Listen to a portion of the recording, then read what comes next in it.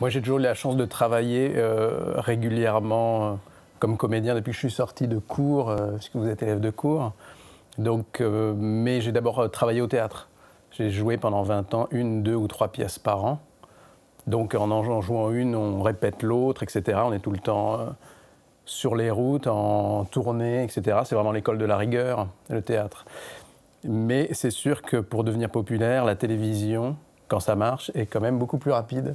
C'est-à-dire qu'on peut faire des carrières extraordinaires au théâtre. Moi, j'ai plein de copains qui sont des, piliers du théâtre français, qui sont pour autant euh, pas populaires dans le sens euh, que les gens ne se retournent pas forcément dans la rue sur eux. Mais est-ce que c'est le but quand on veut devenir comédien? J'en suis pas sûr. En tout cas, si c'est votre but, n'y allez pas.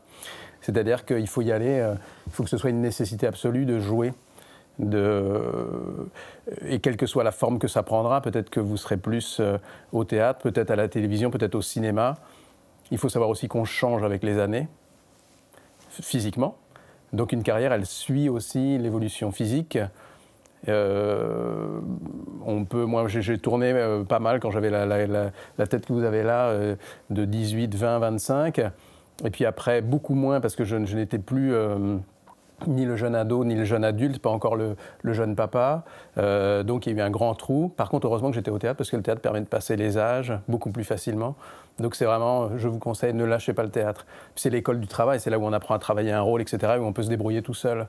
Parce que quand on arrive sur un plateau de cinéma ou de télévision après, il faut savoir prendre des places, connaître un texte par cœur, savoir être dirigé, avoir réfléchi sur le rôle, c'est quand même mieux. Donc euh, le théâtre est une très bonne école.